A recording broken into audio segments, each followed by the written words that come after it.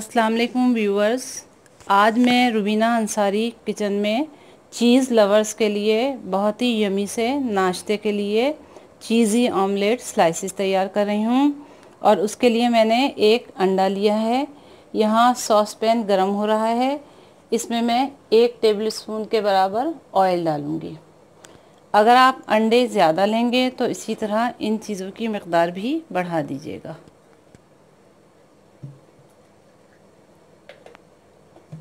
Oil थोड़ा सा गर्म होता है तो इसमें मैं ये एक मीडियम साइज़ की प्याज जो मैंने ऑमलेट स्टाइल में चॉप की है और आधी हरी मिर्च, वो डाल के इसे सौते करूँगी। आधी हरी मिर्च मैंने इसलिए ली है कि ये मैं छोटे बच्चों के लिए तैयार कर रही हूँ और छोटे बच्चे मिर्चें ज़्यादा पसंद नहीं करते। अगर आपके बच्चे ज़्यादा मिर्चें पसंद करते हैं तो आप मिर्चें ज़्यादा भी डाल सकती हैं।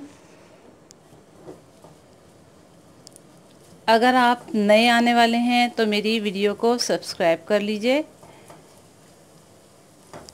साथ में बने बेल आइकन को ज़रूर प्रेस कीजिएगा, ताकि मेरी नई आने वाली वीडियोस आप तक बर वक्त पहुँच सकें।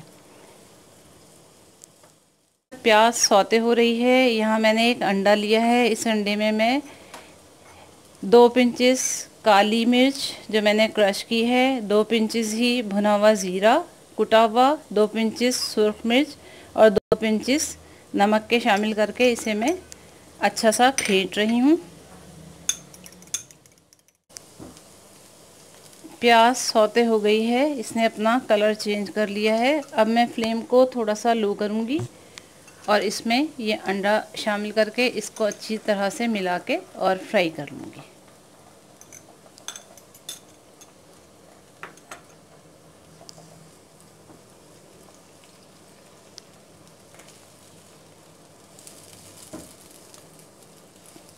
हमें ऑमलेट पेन केक की तरह नहीं चाहिए, बल्कि इसको हम खागीने की तरह बनाएँगे। खागीने की रेसिपी भी मैंने आपके लिए तैयार की है। इससे 25 सेकंड लगे हैं और ये अंडा तैयार हो गया है। अब मैं इसे एक साइड पे निकाल के रख रही हूँ।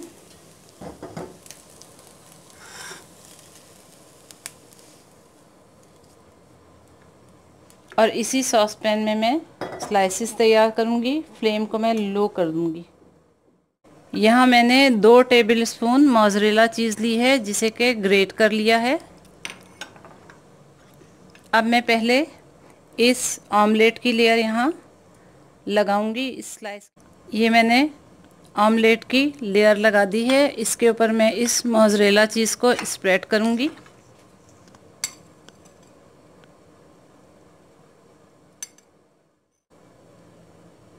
थोड़ा सा प्रेस करूँगी ताकि हर चीज़ अपनी जगह पर सेट हो जाए। यहाँ पैन ऑलरेडी गरम है, मैं इसमें ये रखूँगी।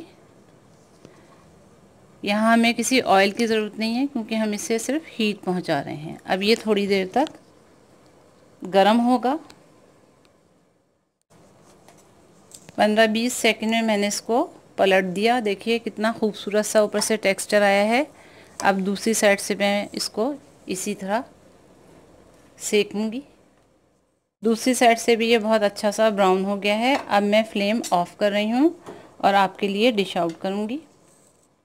देखें कितने अच्छे से चीज़ के तार उठ रहे हैं और बहुत अच्छा सा चीज़ी स्लाइस तैयार हो गया है। अगर आपको मेरा ये चीज़ी एग ऑमलेट सैंडविच पसंद आए तो इसे लाइक ज़रूर कीजिएगा और शेयर भी कीजिएगा। मिलते हैं एक नई रेसिपी के साथ। अस्सलामुअलैकुम और अल्लाह हाफिज़।